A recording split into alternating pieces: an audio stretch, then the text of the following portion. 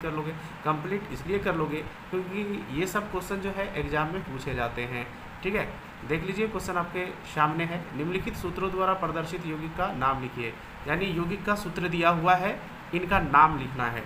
देख लीजिए, पहला दिया हुआ है A L two S O four three यानी यौगिक का सूत्र दिया हुआ है। सी ए सी एल टू यौगिक का सूत्र दिया हुआ है। K two S O four यौगिक का सूत्र दिया हुआ यानी यौगिक का सूत्र दिया हुआ है, इनका नाम बतलाना है। ठीक है?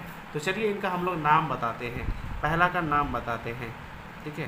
पहला सूत्र है आपका A L two S O four पे हॉल थ्री ठीक है? तो इस यौगिक का नाम क्या है? यानी यौगिक का तो सूत्र दिया दिया हुआ है, इस यौगिक का नाम बतलाना है। ए एल से सबको मालूम है एल्यूमिनियम होता है और एस ओ फोर सल्फेट तो इनका नाम हो जाएगा आपका एल्यूमिनियम सल्फेट ठीक है? एल्यूमिनियम सल्फेट यानी यह एल्यूमिनियम सल्फेट यौगिक का क्या है? सूत्र है। ठीक है? तो याद रख लेना, एल्यूमिनियम सल्फेट का सूत्र क्या हो गया? A L two S O four पे हॉल थ्री ठीक है? या इस सूत्र का नाम क्या हो गया? Aluminium sulphate. दूसरा आपका क्या दिया हुआ है? दिया हुआ है सी ए सी एल टू ठीक है? तो C A C L to यौगिक का सूत्र दिया हुआ है।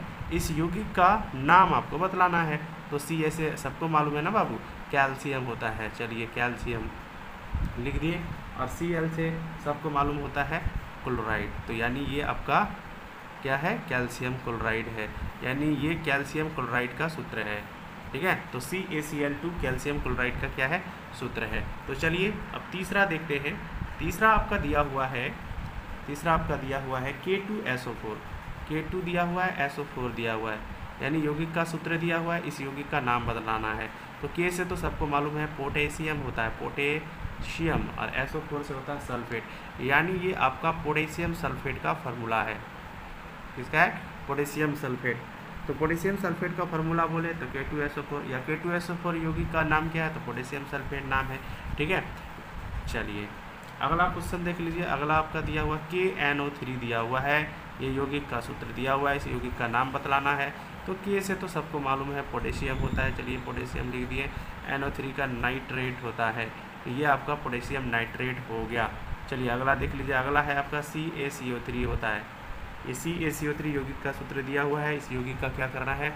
आपको नाम बतलाना है। इस यौगिक का क्या करना है? आपको नाम बतलाना है। चलिए बतलाते हैं आपको।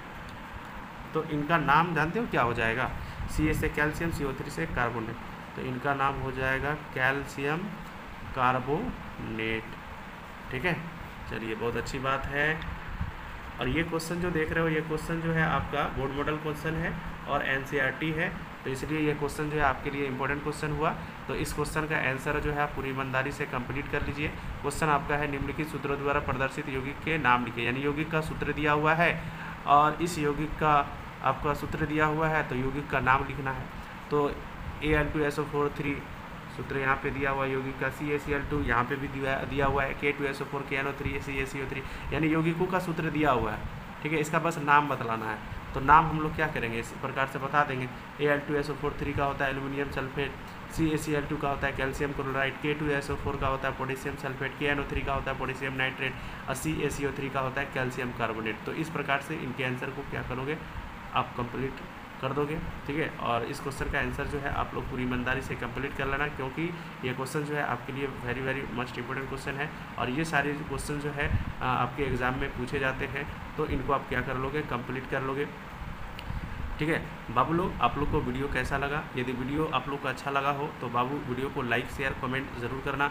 और जो बाबू अब तक चैनल को सब्सक्राइब नहीं किया हो, उन बाबू से रिक्वेस्ट है, चैनल को ज़रूर सब्सक्राइब कर लेना। चलिए, आज का क्लास हम यहीं से समाप्त करते हैं। धन्यवाद।